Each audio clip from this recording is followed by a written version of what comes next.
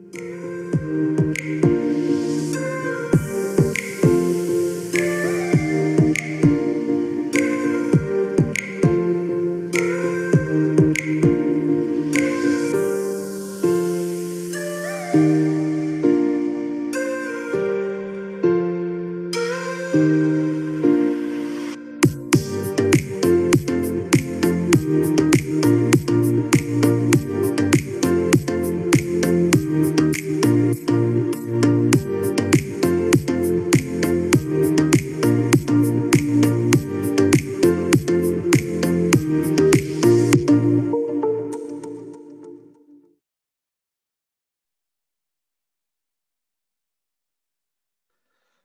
beat me to it, Mark. Good evening, ladies and gentlemen, boys and girls, children of all ages. My name is Peter Schrappen, the co-host of Seattle Boat Show Live, episode 35 of this fun endeavor that I get to get to partake in with my friends Mark Bunzel and the Landons. Hey, Mark. Hey, Peter. How are you? What's happening in Olympia this week?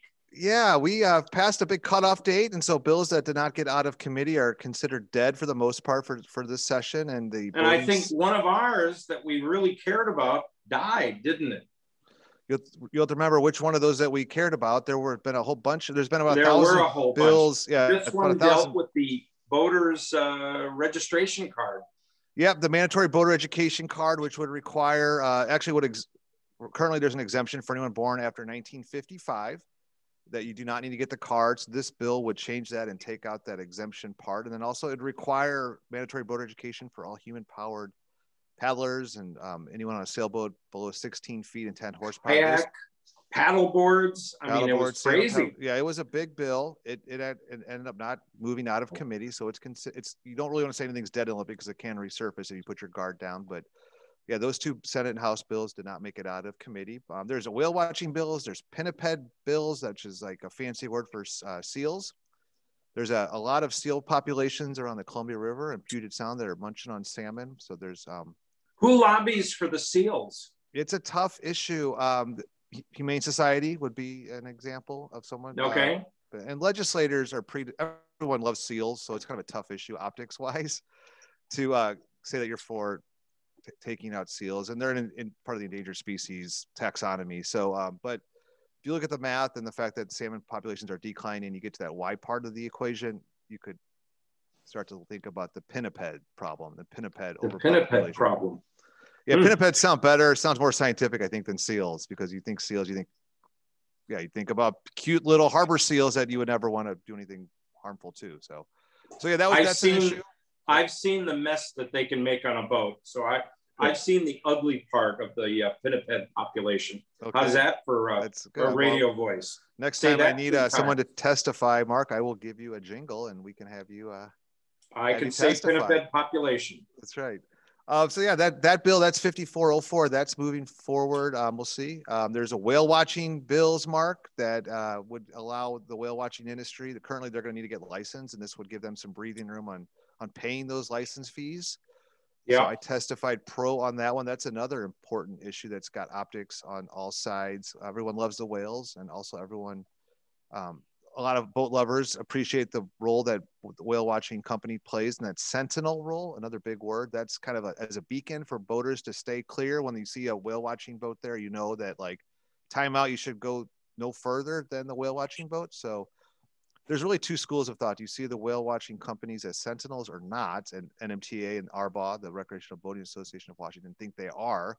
So we've been um, aligned at the hip with the whale watching uh, charter industry. So that yeah a couple bills there um, that's an important issue in Anacortes and a lot of yes, it is. Yes, it communities, is. and um, that those bring in a lot of dollars, and they, yeah, we like their partnership with the whale watch industry. So anyway, that's a couple bills that have been coming across my desk, watching. So yeah, thanks for asking. And we have how many more weeks of the legislature now? So I want to say it's at 39 or day 39 into 105 days. It's a long session. Oh my gosh, we're so we're the, early. We got yeah, a lot capital, of capital gains tax. There's a capital gains tax afoot. Um, that would put a we don't have income tax in Washington state, so this would be a way to put a tax on transactions when you sell a business, a 9% tax on that. So that moved out of committee before the cutoff. So that's alive. And um, so yeah, day 39 out of 105 days. And this is the same session where they write the operating capital and transportation budgets. And then next year will be a 60 day session and also it's an election year. So yeah. That's a little civics civics 201. Yeah, but it's all out of uh, everyone's respective homes where you're seeing all sorts of backdrops of normal backdrops from legislators because everyone's home as we do virtual session in Washington State, which is not true of other states like Missouri and a lot of other states are, are trying to find the right balance between how they're going about their session. So yeah. did you get did you get on the water mark this week? No, but the yeah. Landons did a little well, they didn't go boating, but they had interaction with their boat. Should we leave it at that? Leonard, do you want to? We, we, uh, I, you know, we were boating in a in a small way. Um, the boat didn't leave the slip, but we were working on it. So it meets the definition of cruising. And cruising, the definition of cruising is working on your boat in exotic locations. And it's not, a, you know, Anacortes is semi-exotic. So, but anyway, we've been working on the boat quite a bit. Getting it ready. Yeah. So and I, I, think this is a good time. This this is the time of year that all of us have uh, boating projects going on. I had some gauges that were not working on my boat. My mechanic was trying to track them down. Leonard was trying to deal with a helicoil problem. Now he, he can explain what a helicoil problem is on his John Deere engine.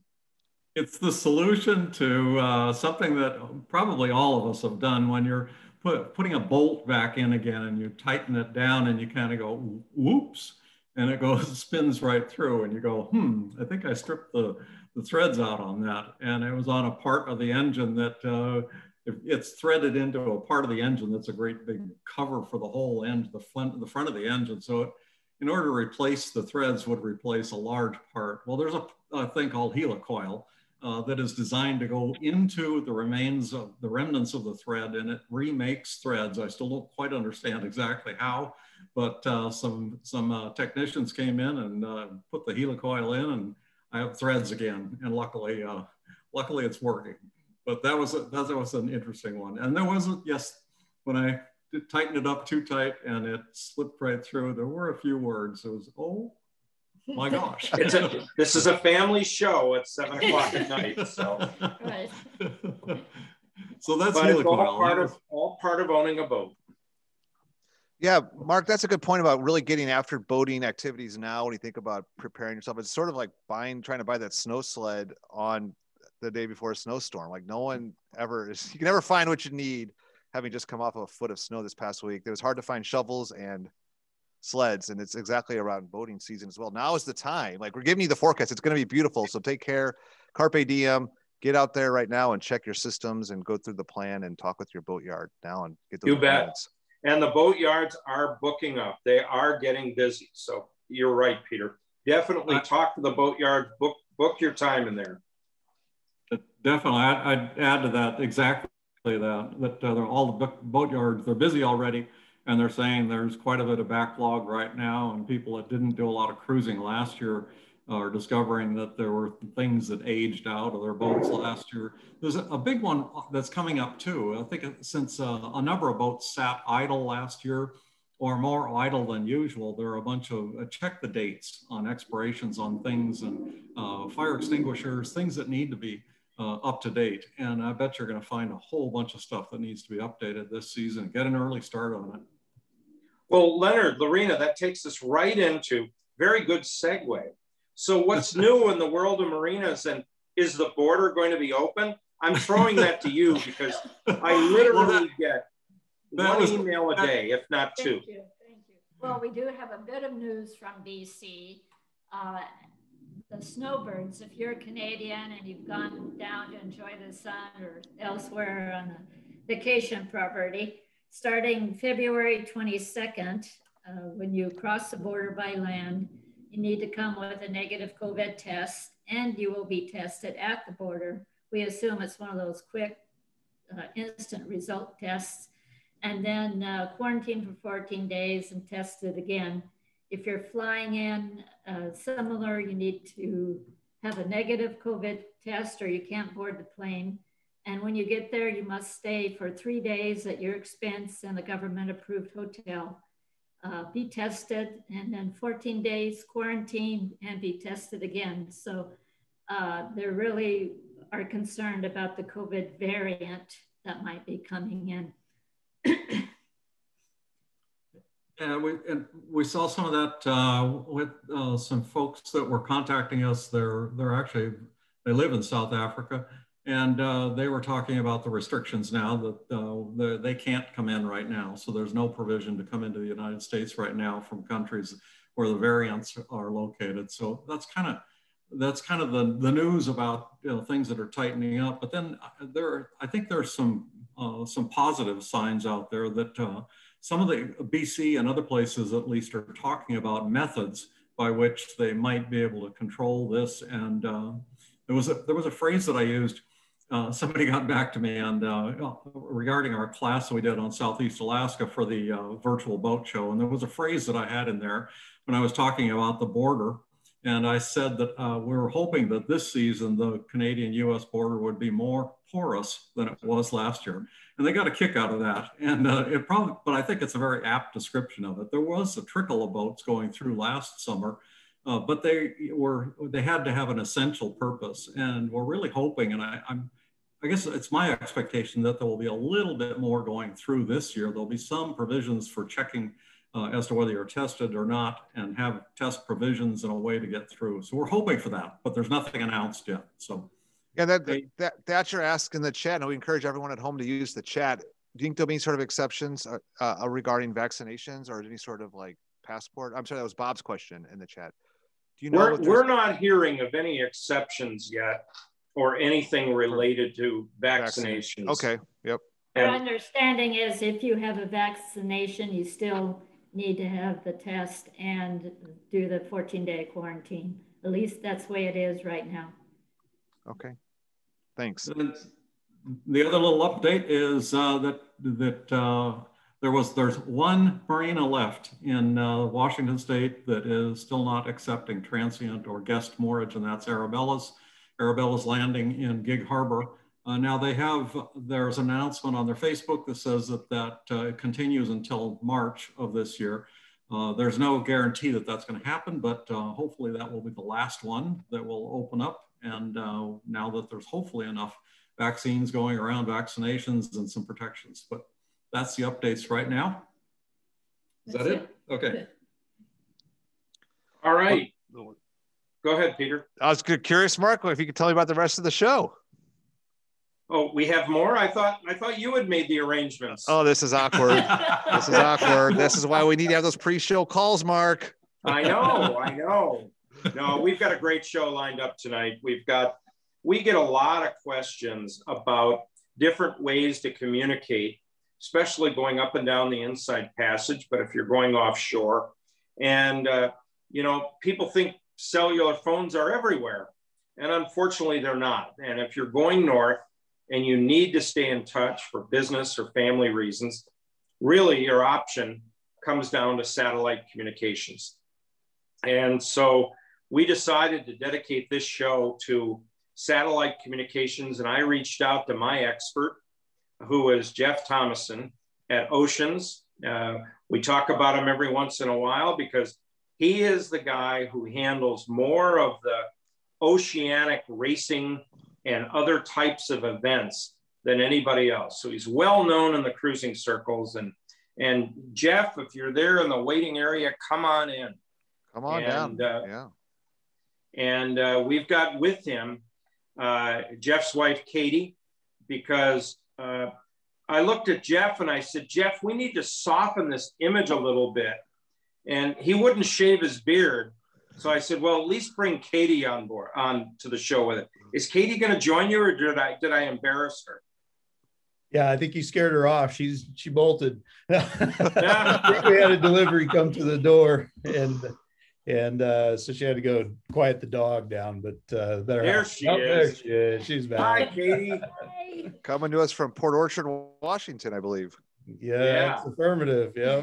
Nice. And Katie, Katie is not just Jeff's wife. When when they go on the road, to talk about satellite communications. Katie can tell the story as well as Jeff. And Jeff, I think she's more effective at it than you are. Well, I've been told that by uh, many a customer. So, Jeff, kind of the attraction at the booth. yeah, yeah. No, Katie is often in the Ocens booth, and I first met Katie in, at the Annapolis Boat Show about eight or so years, eight or nine years ago. I don't know how long it was ago. First one was And uh, she does a terrific job. And, and uh, Jeff, you've got quite an asset. And I'm sure Ocens pays her very well when she works the booth. Uh, yeah. Yeah. Not enough. they ought to at least pay for the airline ticket. I get coffee. yeah, she gets a lot of coffee, that's for sure. Yeah. Jeff, uh, take me back through, and for our audience, uh, uh, Ocens, I've known of Ocens, geez, for about 12 or 15 years now as the experts in this area, but how did Ocens get into this business? Sure. Uh, well, I'll start with me. Uh, my background is boats. I've been in boats my entire life. Um, Dad used to work for Outboard Marine Corporation. And so, therefore, I just kind of grew up in everything.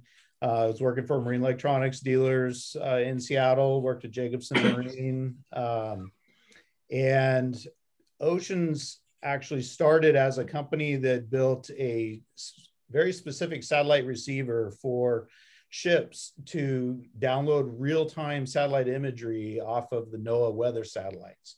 So no matter where that ship is in the world, they could get a real-time picture. Um, it came through similar to WeatherFax, but you could get a, a real-time satellite picture of the weather around you, and it was the only thing out there. So it's kind of when was this, Jeff? About 15 years ago? Yeah, this was 96. And wow. I actually, uh, as a marine electronics guy, sold a few of these systems to some yachts um, and got to know the owner of the company. And very shortly after that, um, we decided it was a good partnership for the two of us. And I've actually been with Ocean since 2001. And and then I brought in some of the satellite communication stuff, having done that as a marine electronics dealer, and realized that as the technology is changing with satellite phones, the prices were changing, the equipment's changing. Um, we could deliver a lot more weather information to a customer using this newer satellite phone system, much cheaper, much faster, and give them a lot more data.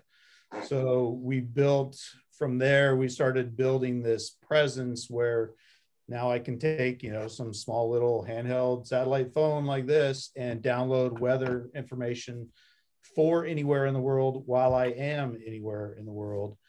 And um, just kind of took off from there. And then, of course, all the other uh, little things like tracking services, email services, things like that just kind of fall into place with that same technology. Well, let's talk about that because uh, it, satellite now is not just voice. It started out, I think, with voice and then transitioned to slow data and, and a text kind of snuck into that. Uh, uh, what am I missing there uh, uh, in the technology leap? Well, you, are right. It, it, did start out, the first uh, Iridium system went up, it was primarily voice. Um, then, very shortly, they realized that, that there were a couple other satellite players in the game um, early on, but again, still voice. And we're looking at data speeds, you know, that were slow for dial-up. You know, we were all on dial-up connections back then, and and these were even slower than that. Well, the, the satellite companies remember space segments are built 10 years ahead of time. So any technology that goes up was typically built 10 years ago before it even got launched. And um, so it took a long time for this stuff to, to build up and, and be pushed out into outer space. And so they started finding ways to deliver really slow data across the system that was already up there. And, but you were limited to that. But now, um, with the likes of guys like SpaceX, I'll jump right in there, um, you know, where they can turn stuff around real quick. Um, you know, you can you can develop products and get them in outer space much much faster, which is what we're all used to with our cell phones, right? You know, my cell phone one day it could barely do a text message, and now we're surfing the whole internet on it. Well, all it took was a guy to drive over here to the hill, put a new antenna on the tower, and a few components, you know, at the bottom of that antenna, and you've got a whole different network. Well, in space, you know, that took a lot longer, but that that stuff's starting to change. You know, we're starting to speed up with that. And and who are the current players, the networks that are out there in space? Sure, we're we're looking at really um, well now. I now we're at five. So uh, the startup was Inmarsat.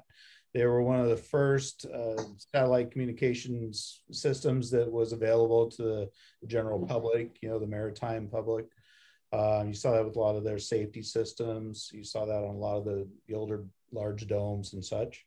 Uh, next came Iridium, and they put up a constellation of satellites and you know started pushing a handheld device. That was revolutionary. Um, then next up, we had the likes of Globalstar come out and try to compete with Iridium. Um, we then go into the VSAT type terminals, which are think of your satellite TV at home, where you've got a dish that's that's pointed out and connecting to one particular satellite. Uh, that's what VSAT does, and there's a number of players in that field, like KVH and Teleon, stuff like that, where you're buying a TV system, and then people are going to buy a matching dome that actually does communications. Um, now, add into that mix guys like uh, Elon Musk and, and the Starlink system. So we'll get to Starlink a little later on because that's, I think, still in the future. And I know a number of our viewers have questions about how and when for Starlink. So we'll save that just so we keep our audience. But uh, uh tell me a little bit about Iridium because Iridium, I think that was financed by the government. Uh, it was a Motorola technology. They got it up in the air during a time period where even Bill Gates had talked about building a global network of uh, LEO, low, low altitude uh, uh, satellite system. And, and that had some fits and starts. It failed, didn't it? Yeah, and that's pretty much been the um, the status quo for how to start a satellite communications business. Um, I challenge anyone to go find me one that has not gone bankrupt yet or before. Um, Starlink has not gone bankrupt yet. Um, I say that because if you look at the numbers they're having, you know, they have a lot of money to build or to acquire. Um, Globalstar built their system, went bankrupt. Iridium, you know, built their system, could not gain. The problem was getting enough people on the system to make it viable and pay for itself. It was so expensive to put up that uh, they couldn't sustain it on the low numbers. You know, cellular grew much faster. And people said, "Oh, I can for thirty bucks, I can get a cell phone. You know, for a thousand dollars, I can get a satellite phone and, and pay you know exorbitant airtime rates." So even Inmarsat has gone through you know bankruptcies when they first started. So that's there's interesting articles when you look at it. Every one of them has had a bankruptcy to start out with. Clear that debt off the table now you come in, you've got existing network to build up, and now you can slowly start building up the user base. But it's hard. You know, satellite is a little different because, like cellular, you know, you can walk into a building, you still get cell signal. With satellite, you can't do that. So it, it's very different equipment, and it's definitely a more unique user base. Yeah, absolutely, and and uh, it, it's amazing even the Iridium equipment today. I mean, how do you feel about it? I, I've rented Iridium gear and and uh, it's tough. It, it, it's tough to maintain a signal. Uh, uh, is it truly usable today? It is. Uh, the Iridium system right now is 100% uh, new. So they've got about 70 plus satellites up there right now. Every single one of those is brand spanking new. Um, they're within the last four years. Their original constellation outlived its life expectancy by you know almost 10 years, believe it or not. Um, so we've got new equipment up there. We've got very robust satellites that are capable of much better voice communications and faster data speeds and the hardware on the ground, you know, the stuff doesn't change as fast as our cell phones. Uh, so you'll see phones like these handhelds, you know, they'll stick around for 10 years. The original phones that they put out back in 1996 are still valid. They still work the same now as they did back then. So the newer phones, you know, on, on the smaller side of things like the, the handheld or something like the Iridium Go, you know, they're small, they're working at the same speeds the original phones were.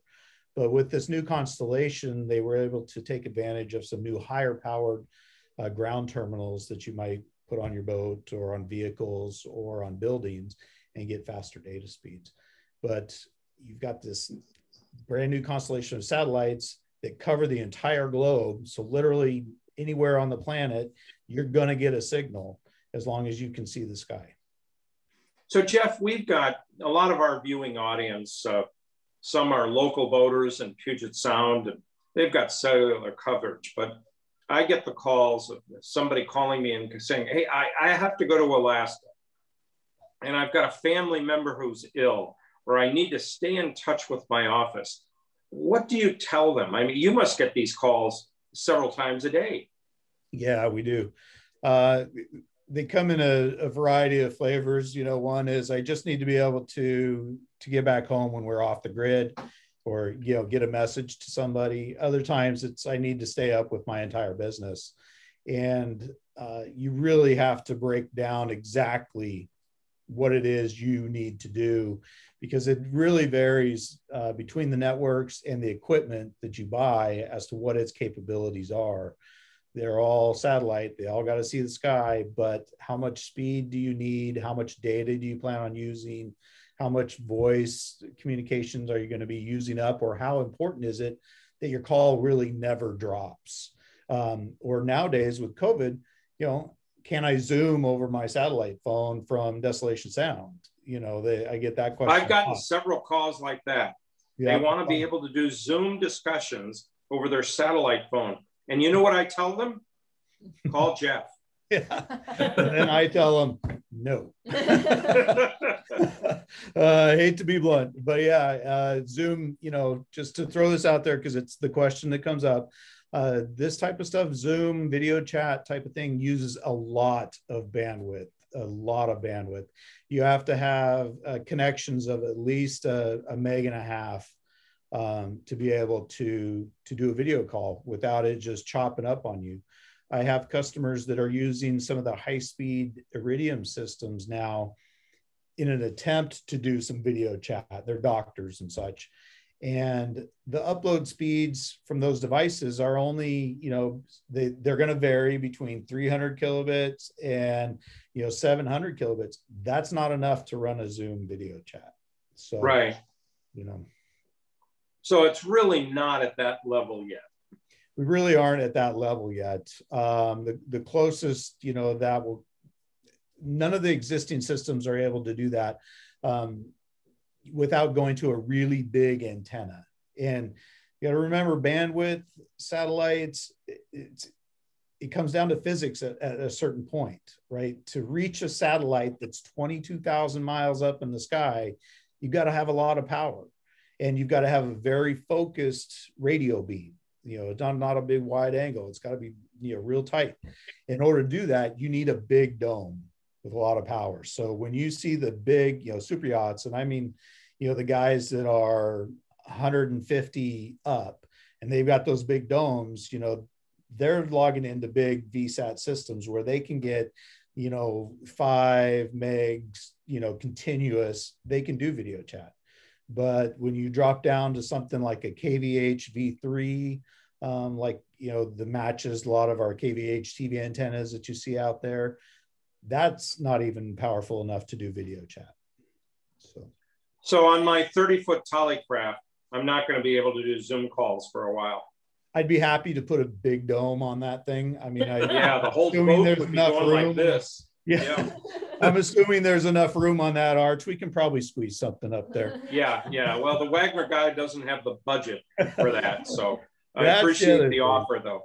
Yeah, we're, we're, you know domes like that. You know, you're, you're looking at numbers around thirty thousand dollars. You know, whereas you know most of us are in the handheld range.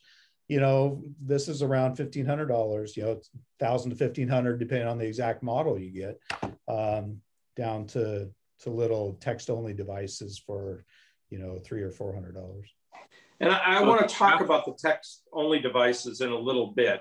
uh, and come back to that because uh, I've had a great deal of success with that. And uh, but uh, so I'm glad you named some of the prices because I think that's the reality when somebody sees what the price tag is. What about the airtime today? What's that costing?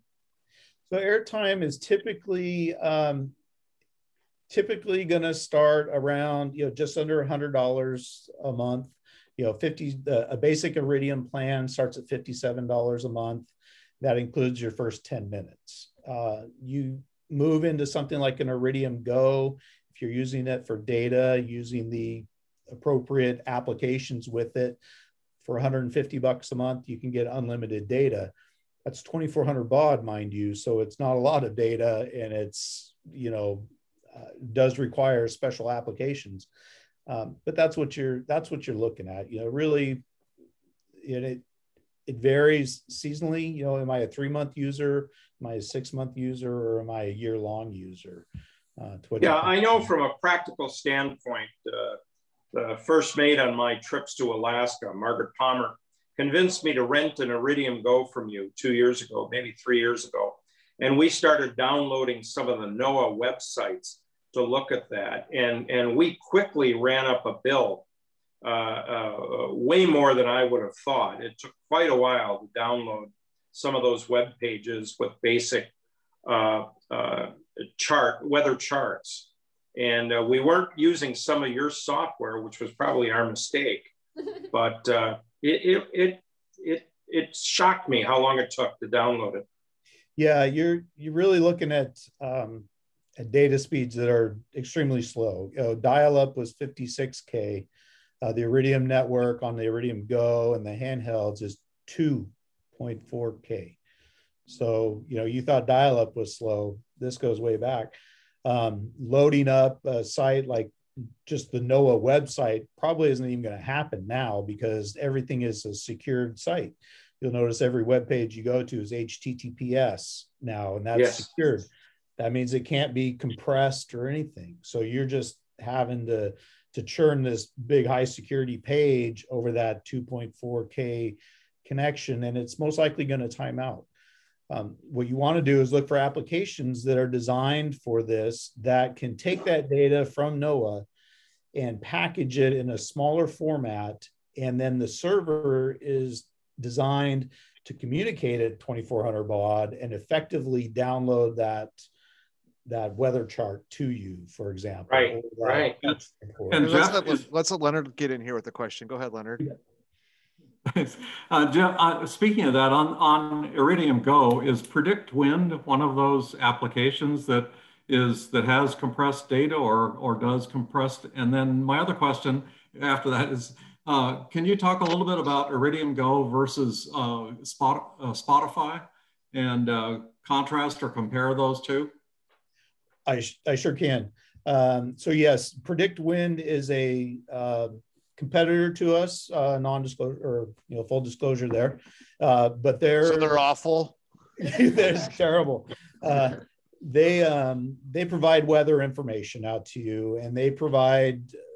They are the only satellite system that they sell is the Iridium Go to kind of complement their weather package. So they're they're kind of a very you know two part thing. Here's here's your weather. Here's your Iridium Go um, and that's that's what they have to offer. But they are taking that weather data and trying to package it in a format that you can get it, you know, over that slow speed connection. Um, so does that does that mean that they compress then? So by by having a, a Iridium Go that has an established relationship with PredictWind, does that reduce the data requirements? So it's it's not compression at this point. Uh, what's happening is you're downloading data that is uh, specifically formatted for you know to, to maximize the amount of information coming through in that data packet. You're looking at gridded binary weather files, GRIB files, and that particular data format is already a compressed format. So when it's downloading, you know, it, it doesn't get any smaller than that and the way you control the size is by how many parameters are in that file like am i getting wave uh, you know wind speed and direction am i getting wave information am i getting you know surface pressure data how many layers of information am I getting in that data packet? And what is the geographic coverage area that I'm downloading for? Because the larger the area, the more data points, the more data you're downloading. Um, is that I think that takes care of that one. Your next question was regarding the spot devices um, versus Iridium Go. So Iridium Go is a two-way communication device. So you can make voice calls, you can send and receive data. The Spot device is a one-way communicator, uh, and it works off the Globalstar network. And so when you push the button on a Spot device to send either a tracking point or a quote message, uh, what's happening is it's sending a one-way message to the network, and then the network on their side, they're either just redistributing your position information or they're looking at a database where you have gone in ahead of time and pre-programmed some specific voice or sp- specific text messages. So you could say like, oh, when I hit the the uh, message button, I wanted to send my message that I've put in the website on slot one, and it says, "Hey, everybody, I'm doing fine." You, know, you don't get to change that when you're out at sea. You have to wait till you come back and get internet connection to change that. And I'm so familiar also, with that with I'm familiar with that with the Spot device, but uh, I guess I thought they had a Spotify device that was more like Iridium Go. Okay, you're talking about the SatFi 2. Yeah, uh, sorry, sorry, okay, SatFi. That's okay. Uh. Yeah. Globalstar has another device uh, called the SatFi, and that is similar to the Iridium Go, uh, it, other than it works on their network and um, the technical specs, you know, would be faster data, cheaper airtime plans, and all that kind of stuff. But that all falls into if you want to deal with uh, the ups and downs of the Globalstar network um, and the uncertainty that they have with their network at this time. And is the Globalstar network still the, uh, I want to say, it, it does not have worldwide coverage, correct? Globalstar does not have global coverage. Correct. Uh, the reason being, their network is based off of a bent pipe uh, technology where when you make a call, that call goes directly to the satellite, and that satellite rebroadcasts it directly to the nearest ground station, and that's it. So you that satellite has to be able to see both you and the ground station at the same time in order to complete that call. If only one part of that is in play, the call does not go through. Um, so as you get farther offshore, you're going to get farther away from a ground station, and and you're going to start dropping calls to where pretty soon you don't make any calls. Whereas Iridium, their satellites are cross-linked, so when you make a call, it's going to go to the Iridium satellite. If it can see a ground station, it'll go right there. If not, it's going to transfer across their satellites until it does reach the ground station, and most of the time that's in Arizona. Okay. And Iridium has 66 to 70 satellites up there at a time, correct? Correct. They have uh, 66 to complete uh, their fully operational network, and that gives them 100% coverage of the globe. Globalstar has um, less satellites. They have 24 of their second generation satellites up there, and they're they are farther up in altitude, another 400 miles up from where the Iridium satellites are, but that still doesn't give them 100% coverage. You're still going to have gaps between the sort of flashlight beam or spotlight beam that it hits the Earth. And then you have to factor in the fact that it has to hit that ground station and you both within that beam at the same time. So, so that's really the, the difference between the networks. And I'm glad you pointed that out because sometimes it's hard to tell. Now, Iridium has launched the, the Certus system. Is that the new network and new equipment? So the new network, they've uh, branded Iridium Next, and the Certus is the new kind of high-speed service that's uh, part of that program. So the Certus terminals are going to be a little larger terminals. They're going to be uh, like, uh, well, I have one sitting behind me somewhere. Uh, it's about a 10 inch diameter dome, and it actually tracks multiple satellites at the same time. and um, that gives them data speeds you know that are much higher uh, you know all the way up to 700 kilobits um, with that system so it's a higher power antenna and uh, working off of those brand new satellites to do that huh. okay there will be there will be some new uh, smaller Certus equipment uh, coming out you know the current the current price tag is about seven thousand dollars um, there will be some slower Certus systems coming out in the next few years. We're, we're probably looking about a year, year and a half out um, as they're still in development, but they maybe cut the data speed down about half and hopefully the price tag for that equipment will be about half. Uh, but we're still a little bit, a little ways out on that.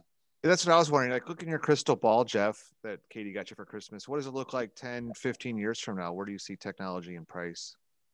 you know that's that is the that is the other question you know a lot of people call and they say hey what you know is my equipment good now is it going to be good tomorrow and um, i i say well right now it's great it's going to be good for the next you know three or four years definitely because it takes a long time for things to uh, to change in the space segment uh, but as the likes of you know guys like Elon Musk and you know you're looking at Blue Origin, the you know Jeff Bezos, the stuff. You know I think in ten years it's going to be different, but it's a bumpy road to get there. You know there's a lot of regulatory stuff. There's a lot of money um, that goes into these systems, and there is a um, people don't realize we're actually run out of bandwidth.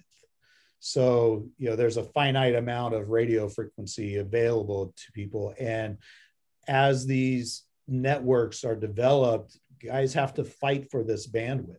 You know, they have to fight for that frequency band uh, to do stuff. And you hear a lot of talk about 5G. Mark and I mentioned uh, this earlier, you know, off the show, but 5G. Please show call Mark. That's what Jeff yeah. and I were talking about. I know. the, the 5G stuff that you hear about in cellular, well, 5G, that frequency range is very close to both GPS and Globalstar. So Globalstar technically owns a bunch of the 5G frequencies that are being used. So there's huge regulatory uh, battles going on with them releasing these frequencies for terrestrial use. So let's let's talk at the lower end because uh, uh, I think we were really pleased to see things like Garmin InReach, and then I noticed your company is promoting something I had never heard of called Zelos.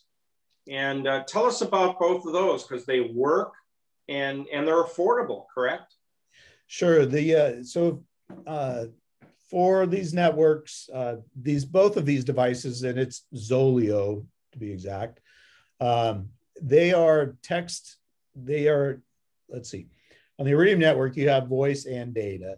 And then they have a data only chip, which is they use for sending short burst data, meaning text messages or dedicated uh, data if you're like monitoring, you know, wind farms or something like that. Well, these devices take advantage of just that small, smaller chipset and allow you to send short text messages very efficiently and at a relatively low cost. And you're looking at devices like the Garmin InReach, which was the DeLorme InReach before. And that's just send text message, send a position report uh, back home. You're looking at equipment that's around three, four hundred dollars, and airtime plans, you know, around fifteen dollars a month, and depending on how many messages you want to send, because now you're being billed on a per character basis uh, for these mm-hmm. systems. Yeah, I've had great success cruising up and down between here and Alaska with uh, the InReach system and, and frequently recommend it. Uh, and uh, because I, I, can send, I can accomplish so much that I can send a message. And if somebody needs then a telephone call, then I can say, well, I'll be within range of a cellular town or station by such and such, and I can call you then. And I find that works, works reasonably well. I just can't always get the weather information I want. Yeah. Um, so Katie and I, um, we've gone on many different trips, either cruising or camping. And uh, a great example was this summer we came across the Okanagan uh, range with our trailer and uh, went a total of about 25 miles in two days of driving. so, you know, we're way out of cellular coverage. And luckily, you know, being a geek, I happen to have an Iridium system with me. And so we use that to communicate back to her parents to let them know we were okay and that we were going to, you know, our trip's taking longer than we expected. We're going to be now camping at 7,000 feet, you know, on this dirt logging, you know, logging road out in the middle of nowhere. And, you know, don't worry about us, we're okay. Yet. yet. don't worry about us yet. And then, you know, we had another trip where uh, we were going to meet some friends. Well, the place we ended up going was out of cell coverage. And we had no way to let them know, you know, where exactly we were, what's our position, where should they drive to meet us. And again had the iridium system with us i sent a position report and a short message to our friends said here's where we are. You should be able to plug this into google before you get off of your cell coverage and be able to find you know where you need to go drive up and meet us and that kind of stuff. So that you know that's huge. So whether you have voice communications or just that text message to say hey we're okay, you know, we're doing fine. Here's where you need to meet us, or, you know, something more urgent. You know, I tend to rent a lot of phones to school districts and such that uh, take kids out on field trips and, you know, hiking trips and such like that. That uh, literally the first time one, I think it was SPU or something, they had a, a trip go out and they rented a phone because they're like, we're going to be out of cell coverage. We have a couple kids that you know we probably need to have something because of conditions you know whether it was diabetes or something like that. The day they you know the first time they took that phone out they had a kid fall and break a leg and use that phone to call back and you know arrange a pickup and all that kind of stuff. So it's you know has a lot more benefits than just you know checking you know your regular emails and stuff like that um, while you're out at sea. But answering fan email for sale yeah, Jeff. Yeah, yeah, yeah, things like that. We get a lot that of that. could be really important, though. You know, that could really important. Well, you, you talk about another thing, emergency rescue, and uh, Geos is. I've subscribed to it. Luckily, I've never needed to use it. And then I noticed just what six or eight months ago, Garmin bought the company.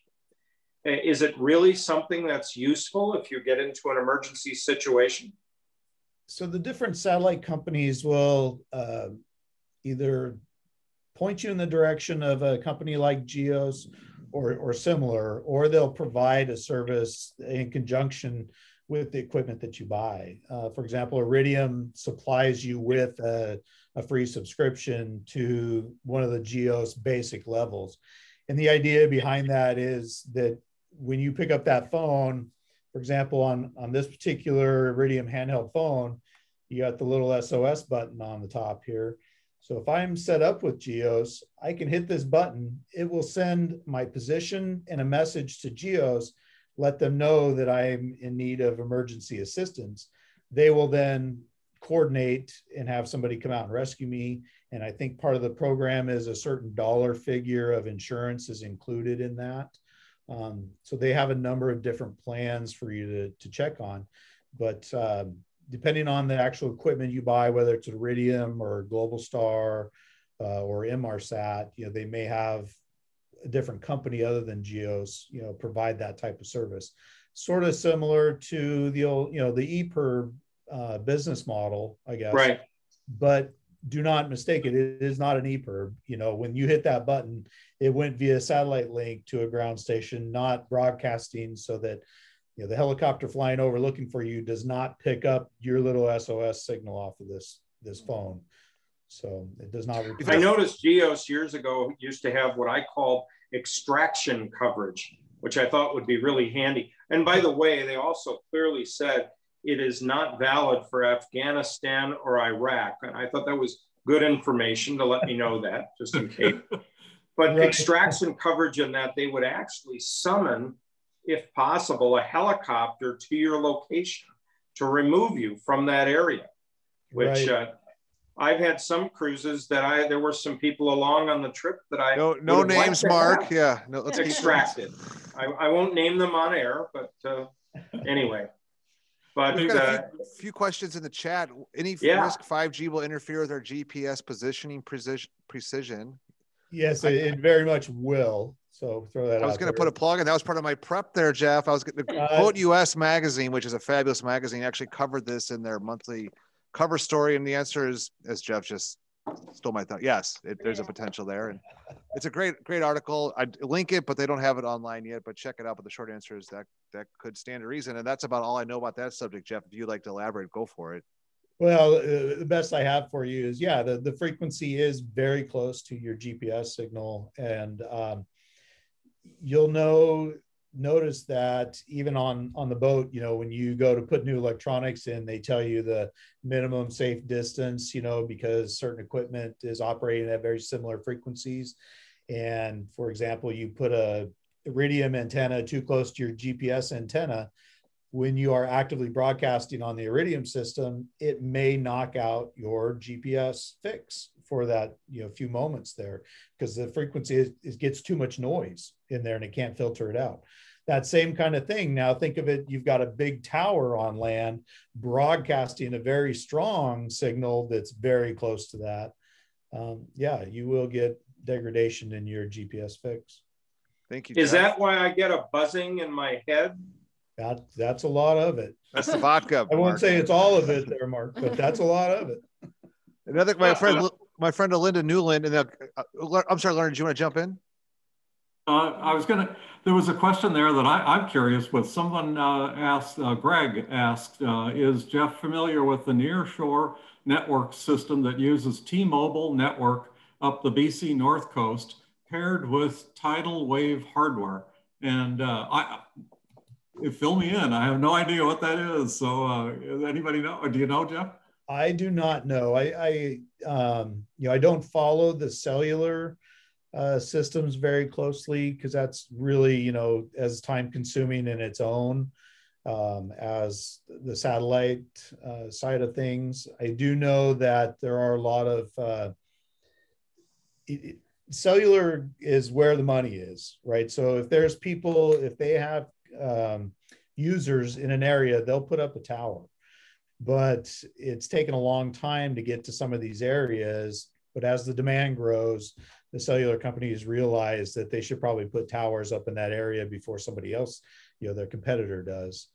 Um, that's the best I have for you on that. I just cellular is one is something to follow, you know, as closely as satellite, but it's just a little bit different.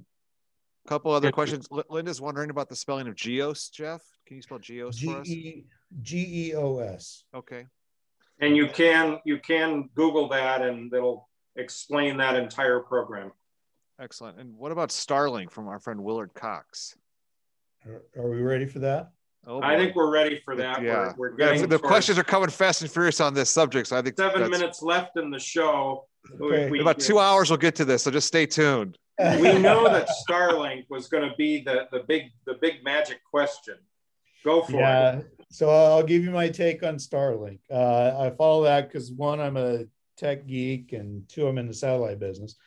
Um, the Starlink system is really cool. Uh, you know, those satellites are very close to the Earth, and they are moving. Um, so they are only a couple hundred miles up. If you look at Iridium, uh, they're about 400 miles up. Globalstar is about 800 miles up and Inmarsat is 22,000 miles out. So Starlink is very close to the Earth. In order to keep something in orbit that close, it's got to be flying. And that also gives them a very small footprint for each satellite. It can, it's just a very small radius that it's of the Earth that it can see at any given time. Um, the first satellites they launched required a ground station to be nearby, very similar to Globalstar had to be able to see you, the ground station, simultaneously. Well, they are just now launching satellites that have cross-link capability so that if you are in an area that's you know, kind of a stretch, they'll be able to link to another satellite and then back down to the ground station.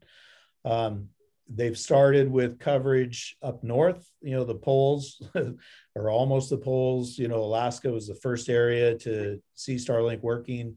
And that's because the Earth is a little smaller up there, you know, if you draw a circle around it. And as you get closer to the equator, everything's spreading out. So it takes more and more satellites to cover that area. So it requires them to get more um, more asset in the sky. Well, as they're building this, we're starting to see service come down into Canada, and right now um, we're starting to see availability in you know the northern part of Washington and, and kind of along the Canadian border there. Um, they're just now starting to release that to the public uh, to, to buy systems and such. Um, the and we should explain it's five hundred dollars for the ground equipment and at the moment, roughly about $100 a month for pretty good internet speeds. Yeah, pretty good. And the, the big talk is the latency, you know, because we are still trying to reach a few hundred miles up. So when you, you know, hit hit enter, it takes a moment for that signal to get up there and back. Um, there's a lot of regulatory stuff involved with uh, Starlink, and they're duking it out with Amazon, with the likes of Globalstar, you know, basically with everybody for bandwidth, again, like we mentioned earlier in the show. And um, also the because of the high frequency, the speed of these satellites, the sort of data speed that they want to be able to provide, they have to have a dish that's very focused on that satellite as it goes by. Well, that satellite's moving so fast that dish would hook on to that satellite and it's got to follow that thing across the sky real quick like and that's only got a um, i forget what the exact number is it's a little less than eight minutes for it to traverse the sky um, for iridium and I, I know these are much quicker. So you've got to have equipment that can track that satellite. So when we as boaters apply this to a boat you know okay one, we've got a satellite moving across the sky, but the boat's moving at the same time. You know, boats spinning around and tipping over and all this kind of stuff. So now you've got to have a satellite dish and all these motors that are capable of doing all of that at the same time. And we throw one more curveball in there. It's like, do they have licensing to work everywhere in the world? You know every country has their own regulations for frequencies and stuff. So just because the technology's there doesn't mean they're allowed to use it there. So right now That's, it's covered in canada and north america but land only and they specifically do not have a license for mobile or nautical applications. Is that correct? That's correct. Yeah you you can't even put this on a, um, a vehicle uh, you know, and drive around on land with it. It has to be at a fixed location.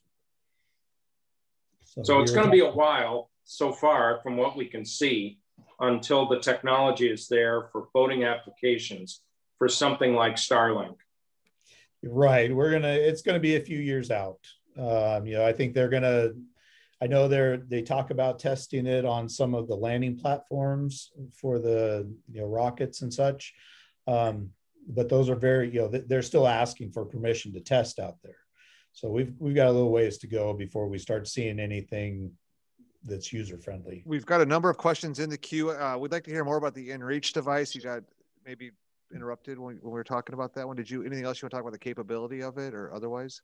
Um, the InReach is just a if you haven't seen it, um, we don't sell those. Uh, you would find those like go to best place, just go to Garmin website um, or you can buy them through you know your local outdoor type store. REI, yeah, um, yeah, and they're just nice handheld units. They do tracking. I think you can get units that actually have uh, maps in them. You know, like all the other Garmin uh, GPSs. And then it gives you the ability to type in a message and send that message to somebody's email address or you know cellular phone number. Great, thanks, Jeff. What about the Matsu 2500 system? Bob Sharf is asking. Matsu 25. M A Z U. Oh, Mazu. Yeah, well, yeah um, that's what okay. I said. yeah, got it. Uh, okay. Um, so that that is a iridium based system. So what they're doing is they have actually an Iridium modem built into that, and they're sending data over that. So you'll look. I'm, I'm not familiar the exact model number um, where they are now, but their systems had a couple different.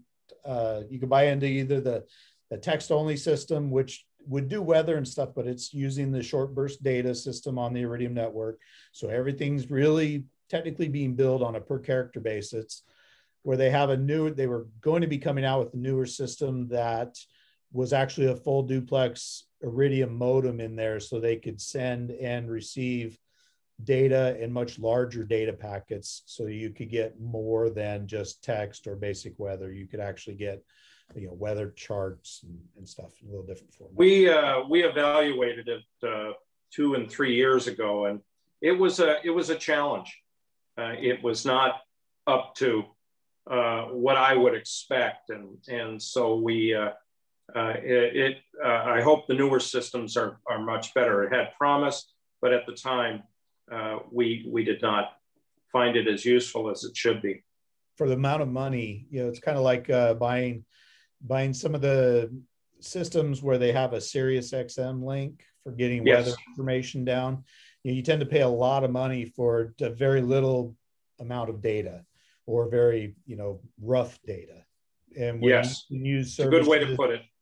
when you can use a service uh, like Ocens offers um, you know we can deliver any kind of weather information out to you on any of these platforms in a variety of formats you know, whether it's text a GRIB file, a NEXRAD radar picture, a weather fax chart, you know, any of that kind of stuff or pinpoint forecasts for your exact location on you know very highly accurate pinpoint forecast data. Uh, it's hard to justify spending a lot of money for a device. That just kind of gives you a low res weather map like you get in your car you know. I just want to add to that to say that uh, for those of you still if we didn't get to your questions the Ocens website and i should spell it o-c-e-n-s dot com. European it's European, as one of my friends in the industry told me, because we left. I had, I had no idea, uh, but it, there's a lot of information about all of these questions. And the one thing where I personally recommend Ocens is they also have a very, a very robust rental program. So if you want to try before you buy, you can rent one of their systems, comes with the software you need and it comes with some great people in Des Moines, Washington, like Jeff, who can provide you with the technical information to get it all working. How's that for a commercial? I love it. Yeah. Oh, that's great. Here's the bell. yeah, I think so. Yeah. I, where's, where's, the bell? I took the took the night off. Thanks, Leonard, for making me feel oh. weird. Thanks for ruining. I thought I, I got to minute 62 here. And then there you go. And for those of you interested, we have some questions coming up about the Zoleo system. Again, it's, a, it's very well described on the Ocens website.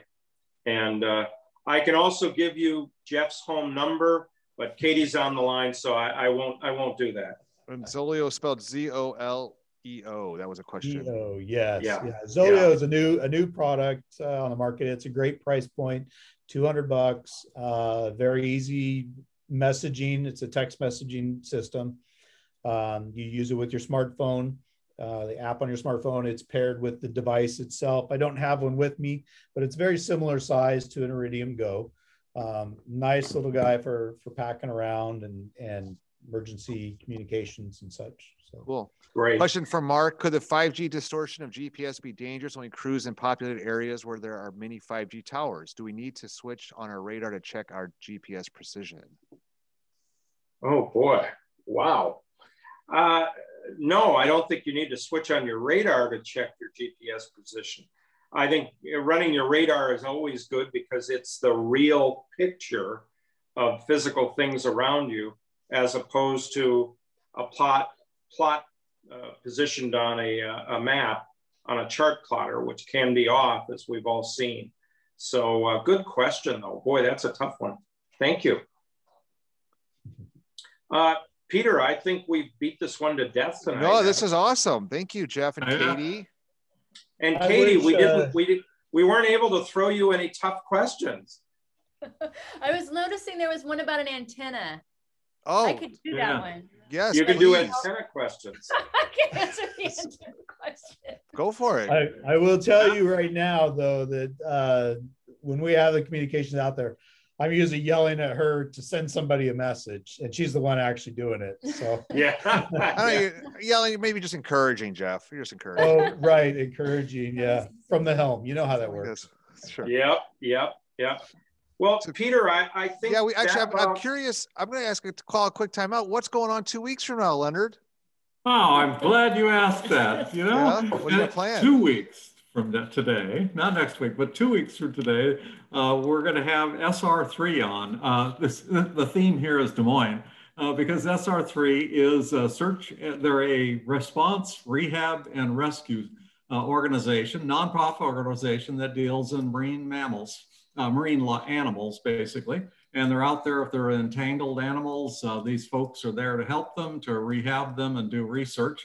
And they're located down in Des Moines. They've just finished their location. They're going to be on with us in two weeks, and uh, we're going to learn some very interesting stuff. I think they have some excellent pictures uh, to go with it, and so invite you to stay tuned in two weeks. That's not to imply that we'll be taking next Thursday off because we'll be here just like we're here. No, no, Thursday. the, the Yeah. La- Landons are taking, they've got a, a different engagement Oh, must be Yacht nice. club Speaking. For Yeah, that night, That sounds. so that sounds They're, excellent. they're leaving you and I to carry it, oh, Peter. I- I- that's the But first and last time to make before that we mistake. go, before Yeah. we go, I think Katie needs to answer the question about the antenna. Oh, The antenna oh, okay. So what it, it was about the InReach and it's, uh, or no, the Iridium Go. And if you are planning to use the Iridium Go down below deck, then yes, you need an antenna. Otherwise, if you're just going to carry it up on deck and deploy the antenna that comes with it, then you don't need an extra antenna. But it Hmm. is it is um, encouraged that if you're going to use it below decks, that you do have an extra antenna mounted. And we didn't get a chance to talk too much about the Iridium Go, but the nice thing is the user interface is your smartphone for text, for anything. So it talks to your smartphone, I guess over Bluetooth, correct? Or Wi-Fi? Wi-Fi. Wi-Fi. Very good. Very good. Double check. Yeah. And Mark, before we go, did uh, did you need to say anything about Groesbeck? I wanted to thank them for their sponsorship. Mark, would you? Thank like to you, Put Peter. a finer point on that. I did look today at their website to see what they have. There's some great properties on there, some land, a couple of homes in in Anacortes, and uh, uh, yep, give Jean Grisbeck and her crew a call if you're interested in buying up in this area. Uh, we recommend it. Leonard, Lorena, and I uh, uh, have all bought homes in this area in the last two years, and we're we're pretty happy. There's the happy crew at Grossbeck and Associates. Some of their So, uh, properties.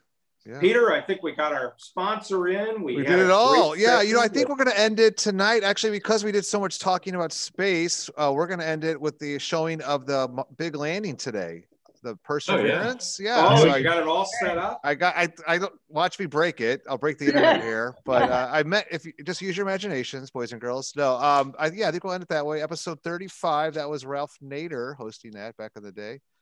Uh, but yeah, so I want to thank that uh, Jeff and Katie Thomassen. If I said that correctly, I hope I did. If I did, Yeah. please correct me. Yeah, you nailed it. Leonard great to see you all. And Mark, Appreciate Mazzone, you guys. Have a great evening. Thank you. We're gonna go out watching the. uh We're gonna go out watching.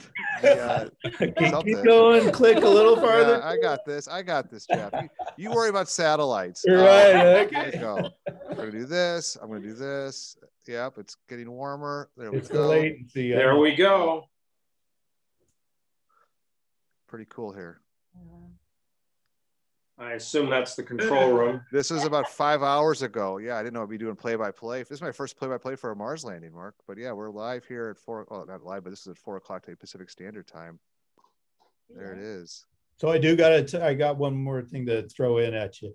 Um, this this watching this video here, I have a picture of my son at two years old, sitting on my chair, staring at a computer, looking at imagery that we were downloading directly from a NOAA satellite.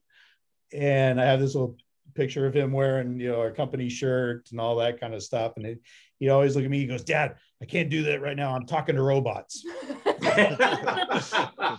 Cute.